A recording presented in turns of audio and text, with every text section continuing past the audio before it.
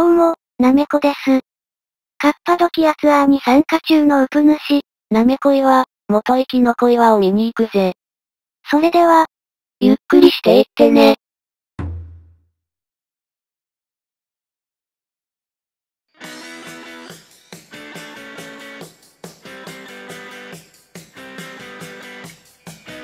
ウプ主はただいま、カッパドキアツアーに参加中です。前回、カッパドキア名物の壺焼きケバブを食べたところだぜ。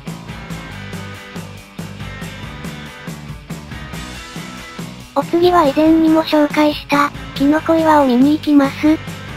柔らかい火山灰の地層の上に、溶岩とかの硬い地層が堆積し、長い浸食で上の硬い地層が残り、変わった形した岩のことだよな。以前紹介した時は可愛いのでしたが、今回はどぎついやつを紹介します。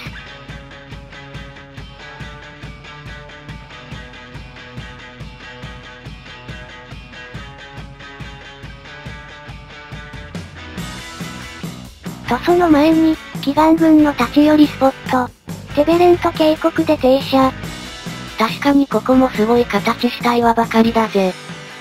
岩の一番上に乗っている、黒い部分が硬い溶岩の地層だそうな。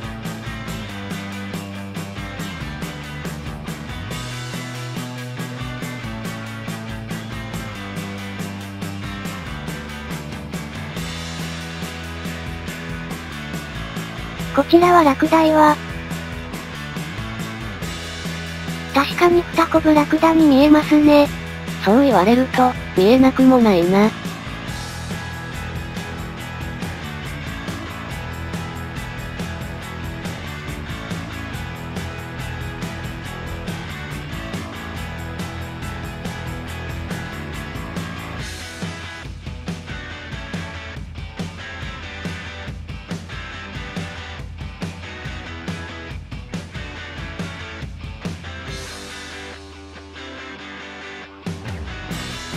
お待たせしました。こちらがどぎついキノコ岩。谷一面にキノコ岩が生える地、パシャバーに到着です。なめこもあまりのそっくりさんに、ふるさとに帰ってきたかのように喜んでいます。いや普通に邪魔だから、前、見えないって。それにしてもほんと、どぎついぜ。どんだけニョキニョキ生えてんだよ。繰り返し言いますが、昔はこの高さまでが地面で、長い年月の侵食と、頭の溶岩により周りだけ削られ、このような形となったのです。そしてこんな超エキサイチングな遊び場も。ガイドさん曰く、よく落っこちて怪我する人いるので、絶対に登らないこと、だそうです。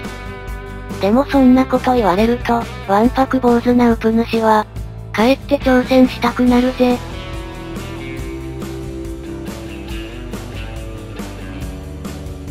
そしてお約束。怖くて降りられなくなるやつ。これは、はずいぜ。さて解説に戻り、この祈願群一帯にもかつて、キリスト教徒が岩をくり抜き、教会や住居を構えていました。今では侵食が進み壁も崩れ落ち、かつての部屋の跡がそのまま見えます。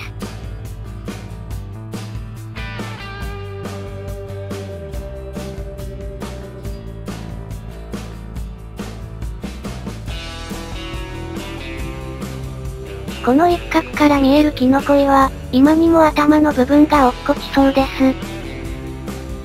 す。すごいバランスだぜ。地震とか台風来たら、ポロッといっちゃいそうだぜ。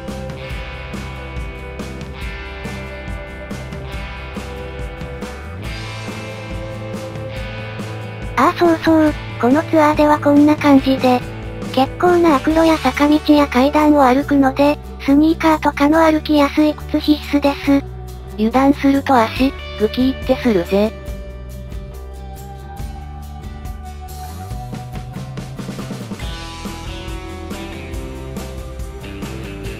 こちらの窓からは絶景が見えました。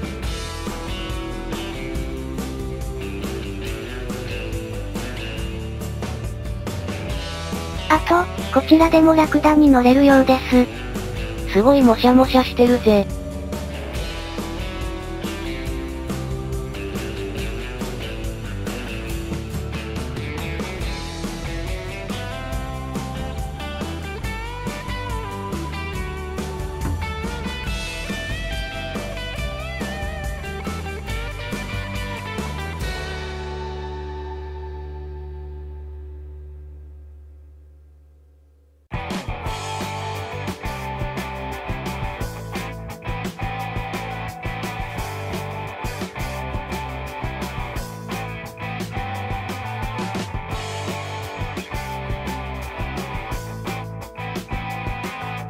今回は時間がなく、キノコ岩を見上げるだけでしたが、近くの高台に上がり、上から見下ろすこともできるようです。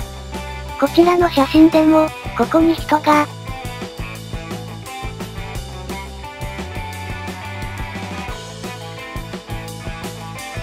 でもガイドさんから、ここも滑って怪我する人いるから、行っちゃダメだよ、とのこと。上からの景色、さぞ絶景だろうな。なおキノコ岩は妖精が住むという言い伝えから、妖精の煙突、とも呼ばれるそうな。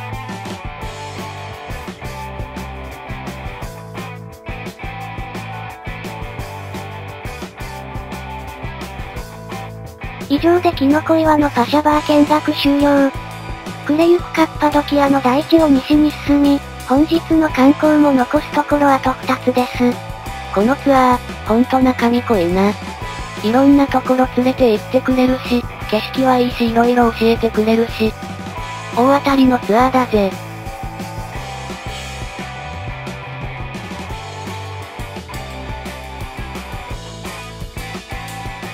そうそう先ほどのキノコ岩で、ガイドさんからトルココーヒーもらいました。トルコに来て4杯くらい飲んだけど、やっぱ濃いぜ。でもその濃さが癖になるぜ。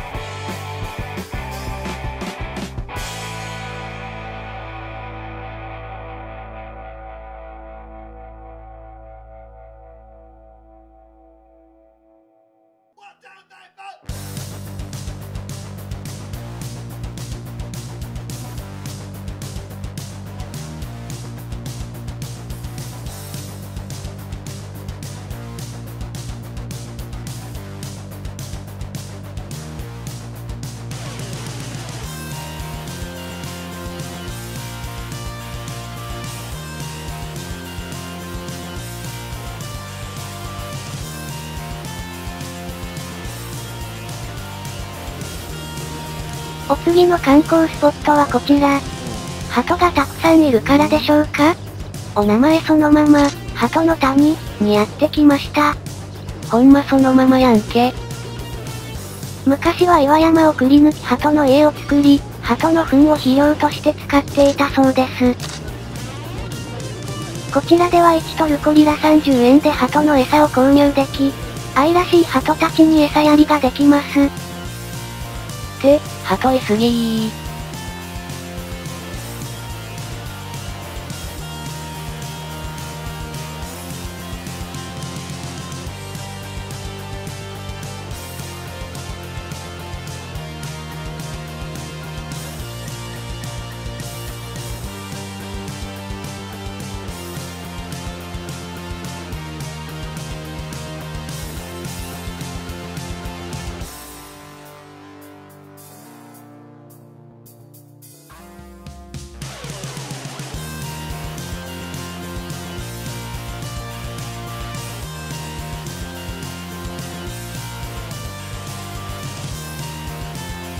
そして最後の立ち寄りスポット。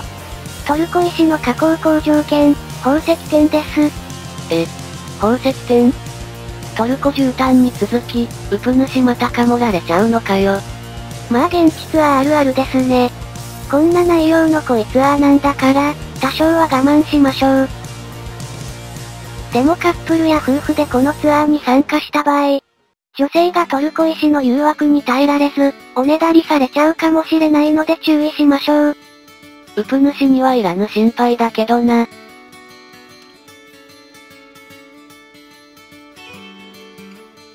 で、宝石店に到着。